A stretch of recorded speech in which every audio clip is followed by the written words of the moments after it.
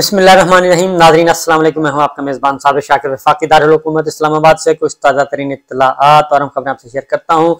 पाकिस्तान में सियासी सूरत हाल काबू में नहीं है और काबू में इसलिए नहीं है कि इमरान खान साहब और पाकिस्तान तहरीक इंसाफ और पाकिस्तान के अवाम एक तरफ़ हैं और बाकी सब के सब एक तरफ़ हैं और पाकिस्तान के अवाम पच्चीस करोड़ हैं और वो किसी और का नाम सुनना भी पसंद नहीं करते और ख़ास तौर पर हुक्मरान इतिहाद के बारे में तो उनकी कोई राय अभी तक बनी ही नहीं। बहुत सारे जतन करके देख लिए, चौदह महीने भी मिल गए, एक महीना और मिल जाएगा। और एक महीने के बाद ये हुक्मरान इतिहाद जो है, वो अपने घर को जा रहा है। अब दिन रह गए हैं, चंद गिनती के चंद दिन रह गए हैं, और अगस्त में इसकी मुद्दत पूरी हो जाएगी, चौदह अगस्त। और जून, समझें आप, गया के गया, और बजट मंजूर होना है, और बजट के सेशन से आप अंदाज़ा कर सकते हैं कि इस वक्त कितनी दिलचस्पी है अरकान पार्लिमान की पार्लियामेंट के अंदर और बजट में। कोई दिलचस्पी नहीं है। आठ लोग बैठे थे। एक ट्वीट जाहिद फारूक साहब हमारे जर्नलिस्ट दोस्त हैं। उन्होंने किया, मैंने रीट्वीट भी किया। उसको आप अगर देख लें तो उसके बाद आपको अंदाज़ा हो जाएगा कि मौजूदा जो इस वक्त पार्लिमानी सिस्टम है, वो किस हद तक बसीदा हो चुका है। तमाम तर विसाखियों के बावजूद आठ लोग बैठे हैं, बजट पे बहस हो रही है और इन्हीं आठ लोगों ने बजट मंजूर हो जाना है। अपोजिशन है नहीं। राजा रियाज साहब जो हैं, जो मुस्लिम लीग नवाज़ के अगले उम्मीदवार हैं फैसलाबाद से, वो इस वक्त लीडर ऑफ़ अपोजिशन है। इसलिए उससे पहले पहले जो चीज़ें हैं, अब राजा रियाज साहब, मामला क्या है? पाकिस्तान पीपल्स पार्टी इस वक्त हुक्मरान इतिहाद के अंदर लड़ाई की बहुत सारी वजूहत हैं जो बुनियादी सवाल है। इसलिए एक तो एक तरफ़ तो हुक्मरान इतिहाद के अंदर लड़ाइयाँ शुरू हो चुकी हैं। Pakistan Peoples Party versus Muslim League Nawaz. और फिर पीडीएम के अंदर मौलाना फजल रहमान साहब और मौलाना फजल रहमान साहब और मुस्लिम लीग नवाज़। फिर पीपल्स पार्टी और मुस्लिम लीग नवाज़। खैबर पख्तूनखा में चले जाएँ तो गवर्नर खैबर पख्तूनखा समदी मौलाना फजल रहमान साहब, उनके वहाँ पे शुरू हो चुके हैं एएनपी के साथ, मुस्लिम लीग नून के साथ, पीपल्स पार्टी के साथ। ये सब का सब क्योंकि वहाँ पे वज़ीर अला जो है, निगरान वज़ीर अला का नाम ही नहीं आपने सुना होगा कि कभी उन्होंने किया है कुछ। वहाँ पे कंट्रोल है सारे का सारा। गवर्नर खैबर पख्तूनखा के पास। वो जेयूआई अपनी जो पुरानियाँ हैं, अपनी कमर सीधी कर रही है। मौलाना फजल रहमान साहब कर रहे हैं। और फिर मौलाना फजल रहमान साहब की दूरी। मौलाना फजल रहमान साहब इंतबी तहत चाहते थे पीडीएम के साथ। सीट एडजस्टमेंट चाहते थे ताकि उनको खैबर पख्तूनखा में एक रीजनेबल वहाँ पे एक सीटें मिलें मुस्लिम लीग नवाज़ के साथ मिलकर वहाँ पे उन्होंने इनकार कर दिया। मुस्लिम लीग नवाज़ के अंदर की सूरत हाल क्या खैबर पख्तूनखा में। वहाँ पे एक बहुत बड़ी विकट मुस्लिम लीग नवाज़ की गिरने वाली है। और क्योंकि सरदार मेहताब और सबक गवर्नर इकबाल ज़फ़र झगड़ा, वो पहले ही दूसरी कैंप में जा चुके हैं। यानी कि वो अमीर मुकाम साहब के अगेंस्ट आ चुके हैं। और अब एक और बड़ी विकेट खैबर पख्तूनखा से भी मुस्लिम लीग नवाज़ की गिरने वाली है। क्योंकि उनको समझ आ गई है कि खैबर पख्तूनखा में नून लीग नहीं है। और अगली बात ये कि एक और काम भी खराब हो गया और वो है कि मुस्लिम लीग नवाज़ के नवाज़ शरीफ साहब को वापस लाना चाहते थे। वो अभी तक उसमें कोई कामयाबी हासिल नहीं हो रही। आ, उसमें अदलिया को प्रेशर प्रेशराइज करके देख लिया। वहाँ से दाल गल नहीं रही। तो बिल इन्होंने अमेंडमेंट करवाई थी। वो सुप्रीम कोर्ट ऑफ़ पाकिस्तान में अटकी हुई है और उसमें भी कोई दाल गलती हुई नज़र नहीं आ रही। फिर अब नई तरमीम की है, उसके तहत लाना चाह रहे हैं, उनकी डिस्कालिफिकेशन खत्म करना चाह रहे हैं। हनूज, दिल्ली, दूर, अस्त, अभी बहुत सारे दिन अभी बाकी हैं, क्योंकि टाइम थोड़ा है बहुत वक्त कम रह गया है जल्दी जल्दी ये काम करना चाह रहे हैं। और अगर नवाज़ शरीफ सब वापस नहीं लाया जा सकता, क्योंकि जो इलेक्शन हुआ है, मुस्लिम लीग नवाज़ का, मुस्लिम लीग नवाज़ के अंदर के जो मसाइल हैं, वो आपको मैं बता देता हूँ, कल मुस्लिम लीग नवाज़ का इलेक्शन हुआ, शहबाज शरीफ साहब दोबारा से सदर बन गए हैं, और मरीम साहबा, चीफ ऑर्गेनाइजर बन गई हैं और सदर इसा, सदर इस, इसहाक डार साहब सॉरी इसहाक डार साहब जो हैं वो बन गए हैं। सेक्रेटरी खजाना भी और सदर ओवरसीज भी वो बन गए हैं और अपने खानदान के अंदर ही सब कुछ रखा हुआ है क्योंकि ये आपस में तकसीम किया है शहबाज शरीफ साहब मरीम साहब इसहाक डार साहब ये अंदर ही अंदर सारा कुछ है। शाहिद खाकान अब्बासी साहब को फारिग कर दिया गया है मिफ्ता इसमाइल साहब को फारिग कर दिया गया है और शहबाज शरीफ मरीम साहबा ने शहबाज शरीफ साहब की तारीफों में पूरे का पूरा शहबाज शरीफ साहब की तारीफ़ की कि जनाब इन्होंने बड़ा ज़बरदस्त काम किया है। और शहबाज शरीफ साहब ने सागडार साहब की तारीफ़ कर दी कि उन्होंने बड़ा ज़बरदस्त काम किया है। और मैं बिल्कुल बर्दाश्त नहीं करूँगा कि डार साहब के बारे में या उनकी कारकर्दगी के बारे में कोई बात करेगा। तो जबकि दूसरी जाने पूरी दुनिया जो है, वो इस वक्त और तमाम माहरीन मीशत जो है, वो ये बता रहे हैं कि डार साहब ने मीशत का सत्यानाश कर दिया और इकोनॉमी का भट्टा बैठा दिया। डॉलर एक सौ अठहत्तर रुपए से तीन सौ दस रुपए तक पहुँच गया। फ्यूल जो एक सौ एक सौ चालीस पैंतालीस से दो सौ बयासी रुपए तक पहुँच गया। डीजल यही काम हो गया। महँगाई हो गई। ग्रोथ रेट छह परसेंट से पॉइंट टू नाइन परसेंट पे आ गई। एक्सपोर्ट कम हो गई। इंपोर्ट बढ़ गई। और रेमिटेंस गिर कर नीचे आ गए। ओवरसीज पाकिस्तानियों को गालियाँ गालियाँ, गालम गलोच करके, ख्वाजा आसिफ साहब, दार साहब, सब गालम गलोच करके उनको नाराज़ कर दिया। उनका वोट का हक छीन लिया। ये सारे काम करने के बाद और जो ये मफ्ता इसमाइल नहीं कह रहे और जो खत गुर्बत से जो लोग हैं पाकिस्तान में दस करोड़ मजीद खत गुर्बत से नीचे चले गए हैं और नौ लाख पाकिस्तानी बैरून मुल्क जा चुके हैं पढ़ा लिखा पाकिस्तानी। तो ये सिचुएशन है ग्रे इकोनॉमी और जो आ, आ, जो नॉन डॉक्यूमेंट इकोनॉमी है उसका वॉल्यूम बढ़ चुका है। बैंकों पे सिस्टम पे लोग एतबार नहीं कर रहे। सब जबानी चल रहा है। हुंडी का कारोबार बढ़ गया है। थ्रू बैंकिंग चैनल पैसे नहीं आ रहे, उसकी वजह है बैंक जो है डॉलर का रेट फॉरन करेंसी का रेट इंटर बैंक रेट और ओपन मार्केट रेट में पच्चीस रुपए का, बीस रुपए का फ़र्क है। तो लिहाजा कौन बेवकूफ़ होगा, जो कि इस तरीके से पैसा आएगा।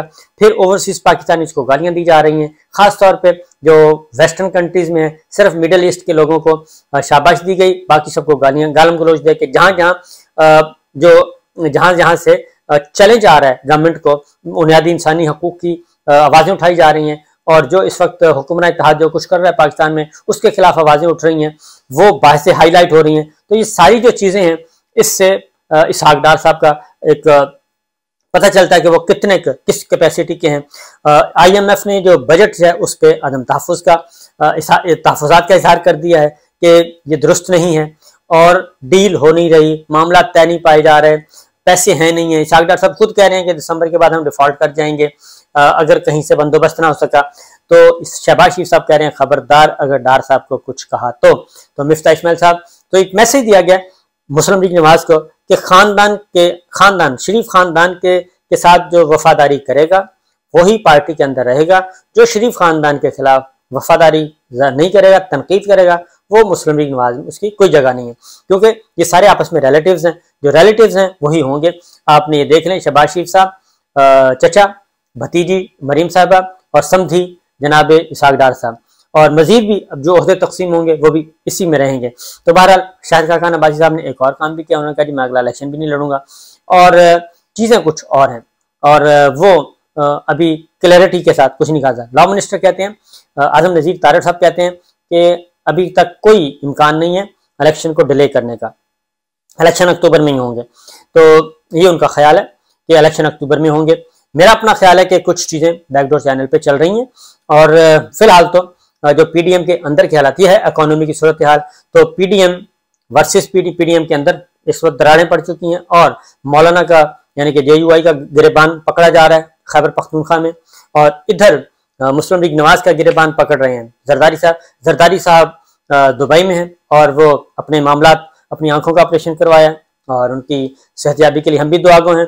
लेकिन पीपल्स पार्टी भी दूरी दूरी चल रही है और आपस में इनके शदीद इख्तलाफ हो चुके हैं।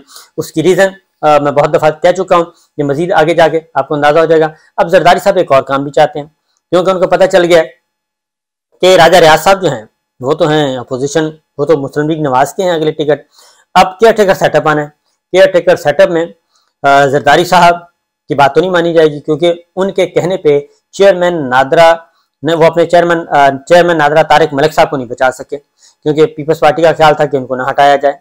और फिर जरदारी साहब अभी तक अपना पीसीबी का चेयरमैन नहीं लगवा सके, चौधरी जका अशरफ को लगवाना चाह रहे हैं, नहीं लगा सके। तो ये कैसे मुमकिन है कि शरीफ खानदान जो है, वो भुट्टो खानदान को उनकी पसंद का केयर टेकर प्राइम मिनिस्टर दे दे? ये मुमकिन नहीं है, क्योंकि वो कहते हैं जी, मोहसिन नकवी साहब आपके थे, और मोहसिन नकवी साहब थे तो जरदारी साहब के नॉमिनी, लेकिन अब मोहसिन नकवी साहब किसी और के नॉमिनी हो गए हैं। वो कहीं और से हिदायत ले रहे हैं और फैजियाब हो रहे हैं। क्योंकि जनरल फैज तो नहीं है, लेकिन फैजियाबी तो चल रही है, ये फैज साहब वो नहीं है। बहरहाल, ये चीज़ें इस वक्त चल रही हैं जी। तो आने वाले दिनों में काफ़ी मज़े के होने हैं काम। फिर इमरान खान साहब को एक डेडलाइन दे दी गई है, और वो डेडलाइन दे दी गई है जनाब अब आप रजा कराना तौर पे अज खुद पार्टी की सदारत से अलहदा हो जाए और पार्टी हवाले कर दें मुनासिब लोगों के। तो लिहाजा फिर तो आपका, आपके लिए हो जाएगा। इमरान खान साहब को कहा गया है कि जून जून में आप फैसला कर लें। तो इमरान खान साहब बड़े कमिटेड हैं, क्योंकि ये जो मिलिट्री कोर्ट्स और 9 मई के हवाले से वो अभी तक इनकारी हैं और मुसलसल इनकारी हैं। वो कहते हैं जी कि मैं तमाम मुकदमात को फेस करूँगा, तमाम मुकदमात को। आपने मेरा फौजी अदालतों में मुकदमा चलाना है, फौजी अदालतों में चलाएँ दहशत गर्दी की अदालतों में चलाना है, वहाँ मैं आप फेस करूँगा। मुझे कोई इशू नहीं है। आप जो कुछ करना चाहते हैं वो कर लें। इसीलिए कल सरदार लतीफ़ा खोसा साहब ने जो तकरीर की, वो काफ़ी सख्त तकरीर थी। और ज़ाहिर है, जब आप सारी चीज़ों को एक बंद गली में, पूरे सिस्टम को, पूरे मुल्क को धकेल लेंगे तो फिर आगे से क्या जवाब आएगा? तो इमरान खान साहब को फौरी तौर पर जी तोशाखाना केस में क्योंकि जो तोशा खाना, ये तोशा खाना घंटा घर बना हुआ है। डिस्ट्रिक्ट कोर्ट में भी तोशा खाना, इस्लामाबाद हाई कोर्ट में भी तोशा खाना, और अब नैब में भी तोशा खाना। तोशा खाना में 21 जून को तलब कर लिया है इमरान खान साहब को। दोबारा लेके आए जी, रिकॉर्ड लेके आए। हालाँकि तोशा खाना के तीन रेफरेंस सबक सदर जरदारी साहब, गिलानी साहब, सबक वजी आज़म, सबक वजी अजम नवाज़ शरीफ साहब, तीन रेफरेंस एहतसाब अदालत से निकाल के वापस आ चुके हैं। कि ये बनते नहीं है, ये तीन। उसके बाद तोशा खाना ग्यारह साल का रिकॉर्ड ही गायब कर दिया गया, तोशा खाना, जो कि जनाब नवाज़ शरीफ साहब और जनाब पीपल्स पार्टी दोनों का इकतदार का साल है, ग्यारह साल, वो सारे का सारा गायब कर दिया गया है। तोशा खाना का पूरे का पूरा रिकॉर्ड नाइन, दो हज़ार एक, उन्नीस सौ नब्बे से दो हज़ार एक, यानी पीपल्स पार्टी के दो टेन्योर और दो टेन्योर मुस्लिम लीग नवाज़ के सारा गायब कर दिया। तो ये है सिचुएशन और ये है मामला बाकी रही रूसी तेल की बड़ी बातें की जा रही थी। रूसी तेल, एक और नवाज़, एक और भी इमरान खान साहब, आज इमरान खान साहब को क्यों आने से रोका जा रहा है? नंबर वन वही बात है कि आर्मी चीफ के साथ उनका एक चल रहा है कि वो आए तो आर्मी चीफ को खतरा हो सकता है। वो आएँगे तो नए आर्मी चीफ लगाएँगे। Number one number two NRO two अब पॉलिटिकल साइड पे आ जाए। वो कहते हैं जो एनआरओ टू है, वो रिवर्स हो जाएगा। अगर वो रिवर्स हो गया तो पीपल्स पार्टी जरदारी साहब, नवाज़ शरीफ साहब, शबाज शरीफ साहब, शबाज शरीफ, हमजा शबाज, सारे के सारे वो उनका क्या बनेगा इस दौरान? क्योंकि 400 तकरीबन 400 मुकदमात जो हैं, वो एन आर ओ टू की नज़र हो गए हैं। और उसका वॉल्यूम जो है करप्शन का वो बारह, चौदह सौ अरब है, जो ये सारे के सारा केस वापस किए गए हैं। उसमें बड़े बड़े केसेस हैं, वो एन आर ओ टू वो भी वापस हो जाएगा। फिर शहीद अशर शरीफ का मामला है, फिर इमरान खान साहब पे कातलाना हमला है। ये काफ़ी सारे मामला जो हैं, वो रिवर्स हो जाएँगे। इसलिए वो कहते हैं कि इमरान खान साहब जो हैं, वो किसी भी सूरत में काबिल कबूल नहीं है। बतौर प्राइम मिनिस्टर, पार्टी को करें इलेक्टोरल पॉलिटिक्स से वो अलग हो जाए। इलेक्टोरल पॉलिटिक्स से अलग हो जाए तो फिर हम आपको कुछ नहीं कहेंगे। ये पैगाम दिया गया फिर नौ मई जो है वो उसमें इतनी शिद्दत नहीं रहेगी। लेकिन अगर इमरान खान साहब नहीं बातें मानते तो फिर वो कहते हैं, जी, हम ये केस चलाएँगे और फिर हम इसको सजा भी देंगे, हम इसको डिस्कालीफाई भी करेंगे। क्योंकि ये स्क्रिप्ट जो है, ये तोते की तरह जो माउथ पीस हैं, वो पढ़ते हुए नज़र आ रहे हैं, तोते की तरह। और जबानी सबक याद किया हुआ है। तो बहरहाल, देखते हैं क्या होता है। ये थी अब तक की सिचुएशन हमादर साहब को भी बता दूँ कि जी हमादर साहब को भी टाइट करने के लिए, अब उनके लिए भी एंटी करप्शन आ गया है। बाकी सारे काम खत्म हो गए हैं। फिर ख्वाजा आसिफ साहब, वज़ीर दिफा, उन्होंने कल माफ़ी मांगी है। और माफ़ी मांगी है यूनिवर्सिटी के वाइस चांसलर्स उन्होंने उनको डाकू कहा था फ्लोर ऑफ़ द हाउस बाईस चांसलर्स बाईस वाइस चांसलर ने खत लिखा स्पीकर को। कि जनाब, ये क्या है? मैं मैं समझता हूँ कि वाइस चांसलर ज़्यादा दलेर थे, जिन्होंने वज़ीर दिफा ख्वाजा आसिफ साहब के खिलाफ ख़त लिख दिया और स्पीकर को ख़त लिखा और उन्होंने अपने अल्फाज वापस ले लिए। माफ़ी मांगी, माजरत की और अपने अल्फाज वापस लिए। तो मैं इंतज़ार कर रहा हूँ कि वो दिन कब आएगा जब ख्वाजा आसिफ साहब को जी एच क्यू से हमारा खत खत आएगा। कि जनाब, आपने पैंसठ के शहदा को माफ़ नहीं किया, पैंसठ के शहदा की तोहन की है, फ्लोर ऑफ़ द हाउस, आपने सेवेंटी वन के शहदा की तोहन की है, फ्लोर ऑफ़ द हाउस, कौमी असम्बली में, आपने कारगिल के शहदा की तोहन की है, और आपने उन शहदा के ख़ानदानों के जज्बात मजरू किए हैं, आपने कई शहीदों के जो है, शहीदों और गाजियों के जख्मों पे नमक छिड़का है, फ्लोर ऑफ़ द हाउस तो आप कब माफ़ी मांगेंगे? या फ्लोर ऑफ़ द हाउस कौमी असम्बली के रिकॉर्ड से वो अल्फाज हजफ करवा दें, क्योंकि वाइस चांसलर्स ने वो अल्फाज हजफ करवा लिए हैं।